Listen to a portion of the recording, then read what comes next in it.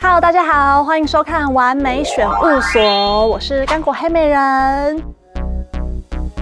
上一次呢，跟大家分享了三家最近韩国超红的小众设计师品牌嘛，那不晓得大家有没有喜欢的呢？如果啊还没有看上一集的朋友，也一定要记得回去看哦。那今天呢，我这里还有另外三家也是超厉害的设计师品牌，想要来介绍给大家。那我们就话不多说，赶快开始吧。今天第一家跟大家介绍的店呢，叫做 Follett。如果有在研究韩国品牌的人，你可能不一定会听过 Follett，但是你应该听过有一家品牌叫做 Covernet，就最红的就是他们的那个 T 恤啊、卫衣系列的。那其实那个 Follett 跟 Covernet 就是来自同一家公司的。那英文小教室时间，调色盘的英文是什么呢？没错，就是 Palette。这样念我应该没有念错吧？那其实呢，这个品牌 Follet 就是来自。寓意就是来自调色盘的 palette，那它就是想要表达，就是像在调色盘上混合颜料般，创造出各种无限的色彩的感觉。好，那这家店的品牌风格呢，是以简单干净为主，偶尔会将一些可爱的插图啊印在上面，甚至呢也会很有文艺气息的把一些那种世界级的经典名画印在衣服上，再透过一些修改啊，把各种。复古文艺相关各种不同的元素全部混合在一起。那这家品牌啊，其实也跟蛮多品牌有过联名合作，包括像是那个很有名的牛仔裤利呀，还有像他们自家的 Covernet，甚至是跟英国伦敦国家美术馆都有过联名。我自己个人觉得，可以把设计师品牌做到跟国家美术馆联名，真的超酷的。对，那这家店呢，我自己也就是整理出了三个我自己觉得经典必买的品相。首先第一个呢，他们花朵系列的卫衣，就他们的花朵系列就有点像是小孩的涂鸦那样，就有点大而化之吗？不修边幅，就没有很讲究那个形状。很简单的那种涂鸦，我自己个人是很喜欢这种风格的。那再来第二个经典品相，第二个经典品相呢，其实就是从花朵卫衣延伸出来的花朵针织系列，我自己也很喜欢。那再来第三个经典品相呢，我要颁给就是系列的 T 恤，我自己觉得他们家的猫咪系列 T 恤是很简单，但是上面的就就是又有点童趣的感觉，就同时有。童趣跟街头就是融合在一起的那种碰撞出的新风格的感觉。那我自己呢对这家店的想法，我觉得这家的水洗系列 T 恤都有非常强烈的街头感。那除此之外呢，花朵系列啊、涂鸦系列又有那种搞怪女孩的感觉。那除了 T 恤系列以外的其他衣服也是白白款，各种形式的衣服你都找得到，完全呢就可甜可盐，就各种风格都能拿捏好的一家店。尤其啊，对于像我这种就很喜欢尝试各种不同风格的人来说，逛这家店绝对会是选择障碍。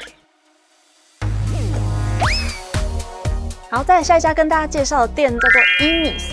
那这家店呢是以慵懒时尚闻名，最有名的就是当年就洪小镇等欧尼们都背过他们就是很厉害的印花帆布袋了，一背而红这样子。那除了印花帆布袋之外呢，他们家其他的包款跟服饰呢，都是偏向那种运动帅气风格。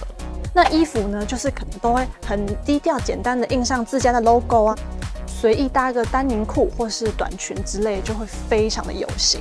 包款呢，也就是简单利落的设计，又用很缤纷的配色，再印上自家的 logo，整体看起来就是帅气又百搭的包包这样子。那我自己呢，整理出了他们家的三个经典品相。第一个当然就是被欧尼们就是带热的印花帆布袋系列。那在第二个呢，我就颁给它的缤纷的运动包款。那第三个我自己觉得很经典的，就是他们家的卫衣系列，包括就是套装啊，或是短版的上衣啊之类相关的，他们家运动休闲风的卫衣，我觉得都做的蛮厉害。那我自己呢，一开始知道这家店的时候，我就是被他们家非常缤纷的包款烧到一个不行。我自己觉得他们家包包的风格，完全就是把。现在时下最流行的 Y2K 风格拉到一个满点。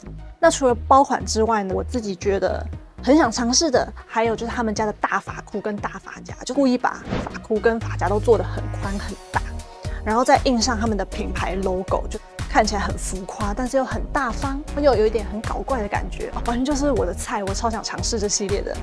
那除了这些之外呢，我前几天在研究他们的 IG 的时候，也发现，我的天呐，他们家居然有出那种。很简单，但是颜色又很缤纷的那种泳衣。我觉得现在夏天要到了，就如果可以拥有一件他们家的泳衣，就去外面拍照，绝对是超好看到不行的那种。好，那最后一个呢，要跟大家介绍的店呢，叫做 Awesome Mix。那它蛮特别的，它是一个为个性女孩设计的。那他们家最厉害会以就很独特的设计风格来重塑一些很经典的品相。那最有名，大家一定没有买过也会看过的，绝对就是他们家的水桶帽。我自己觉得他们家的水桶帽系列真的超厉害，就有很多你想象不到的材质，比如说像是那种针织布料啊，或是像是多层次的卷边材质，甚至像是那种毛茸茸的那种 Teddy 物料款。总之呢，各种材质的水桶帽。都受到韩国女星的热捧。那，我自己也整理出他们家三个经典品相。第一个呢，绝对就是非水桶帽莫属。第二个，我自己觉得也蛮经典的是他们家那种毛茸茸的宽版发带。第三个经典品相，我觉得要颁给我最爱的串珠小包。Oh my god，他们家的串珠小包真的是像我本人就那种，就是穿衣风格非常有自己的个人喜好。非常明显的那种感觉，那我自己就会非常喜欢这种马上让大家过目不忘，一背就是非常有亮点的这种包包啊配件类的东西。所以我那时候看到他们家的串珠小包，我整个就已经，天哪，这完全是我的菜！而且重点是他们家的串珠系列，还有出贝雷帽。我第一次看到有人可以把珠珠串成贝雷帽，我觉得这真的。超级酷的，他们家的毛绒系列呢，完全就是有点怪奇，但是呢，就是简单一个单品上身，又可以就直接把时尚感拉到最满的那种。那但是呢，因为我自己个人是觉得我的脸跟头是偏大的那种，所以我觉得我可能就不太适合那种毛茸茸的水桶帽，因为可能整体看起来视觉效果会膨胀，所以我个人会比较想尝试毛茸茸宽版的那种发带。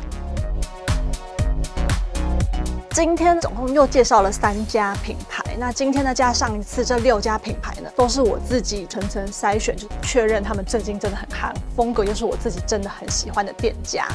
那我刚好今年八月我有安排就要跟朋友一起去韩国玩，我已经准备好就是把行李箱的空间都让给这些行头们了。OK，那如果你有喜欢哪一家店，或是想要逛哪一家店，或是有逛过哪一家店，想要心得分享，都欢迎在下面留言告诉我们哟。如果喜欢的也不要忘记订阅、按赞、分享、开启小铃铛。对，然后如果想要看我做什么盘点主题的，都欢迎在下面留言告诉我哟。那我们下次见，拜拜。